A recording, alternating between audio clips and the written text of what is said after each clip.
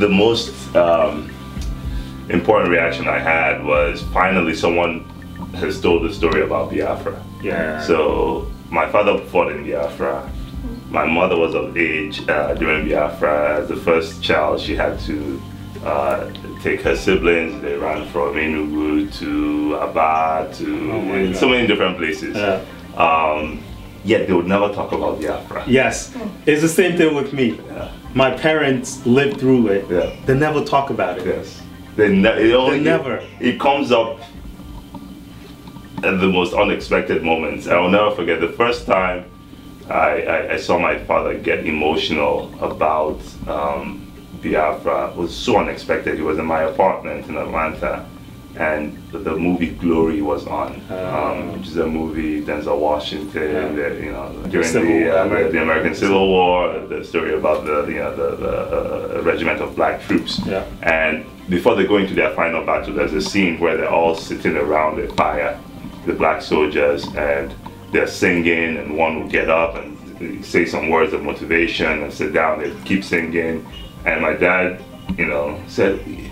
Calls me and like, what, what is this movie? What is, what is this film? I said, uh, this is Glory. He said, Glory. I, okay, I must get this. I must get this film. I'm like, why? You know, he said, you know this thing that they, they're doing. That's what we're doing in Biafra. It was for me. It was a it was a similar experience, right? Because my parents don't talk about. Both my parents lived through the uh, through the war. The only references they make to it is ah before the war, after the war, Yeah. um, by Barroso, Mm. meaning when we ran. Yeah. Right. So everyone had to run away from just they were so displaced. And there were certain things I had to also ask my parents. I said, did, were there were there trains? Were there trains in Nigeria? In this book, she talks about she took the train from Right, right. from Lagos to to Enugu. I And said, it's "Were not there-" so efficient as well. Like it would actually take you there. yeah, yeah. And she said, yeah, yeah, we had trains. So what happened? Well, they broke down and no one ever fixed them, and now we don't have trains anymore. Did you feel hurt? Uh, you know, after reading the book, did you feel like?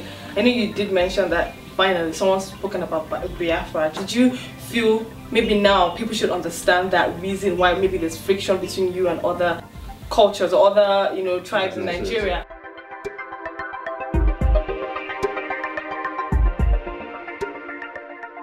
Trying to understand Biafra was merely curiosity. I know my grandfather, speaking of trains, my grandfather was one of the first Biafra casualties because he was a railway driver. So he took the trains from Lake, from um, Port Harcourt through Makurdi to the north to Kano.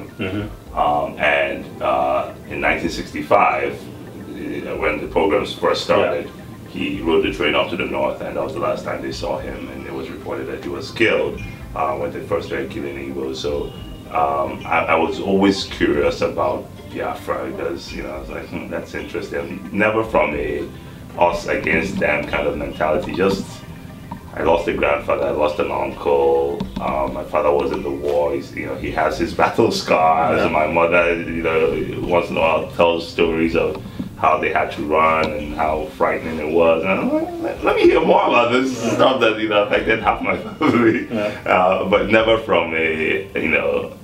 Uh, you- we're not accepted in this country or anything like that. What I have found is that most Yorubas that I know I'm friends with, um, they don't know much about the war. So I remember my ex-girlfriend who's Yoruba. I remember she said her dad told her that that, that war was like something that was happening in a different country. And in fact, I think I've heard that. Too. In fact, in the book, Yeah. right, Yeah. Miss Ade, uh, Adebayo, Yeah. right, one of the one of uh, uh, Odenigbo's uh, friends. Yeah. When the war started, she went back to Lagos, Yeah. right, and after the war finished, right, she she comes back to them and she says, "Oh my God, you know." We were in Lagos, so we didn't know what was going in or that anything was happening. Yeah. It wasn't until I traveled to London Yeah. and then read something about the starving children that I knew that Yeah. there was something happening. Yeah. Yeah. Right? So even while the war was going on, Right, right. there was that indication that they didn't, you know, they didn't know. Oh, this was before Google Alerts, right? So yeah, yeah, yeah. It was before Google Alerts. I know.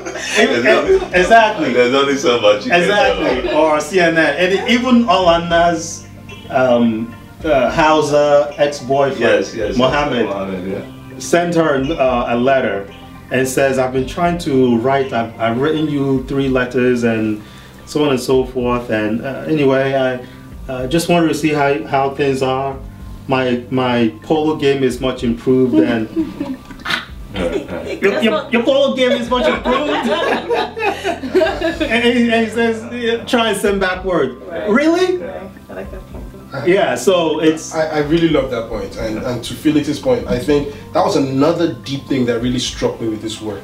That either two things, and it could be of two sides, and it could be both of them.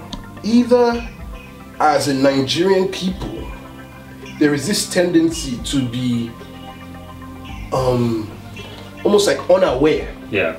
or, or deliberately um, blind to the situations around you. That was one of the things I realized because for me, growing up, it was like Biafra was a fringe thing. Yeah. It was like they are just these radicals somewhere that are insisting they want to break off from the country. Yeah. So it was like a fringe mentality. Like it wasn't really something worthy of national conversation. Yeah. You know, that was the one of the things that struck me from it. And and, and, and you know, Felix point about growing up in Lagos and meeting a lot of Yorubas that did not even know or could not even be asked. Yeah. Because it's almost as if it happened and the country just moved on.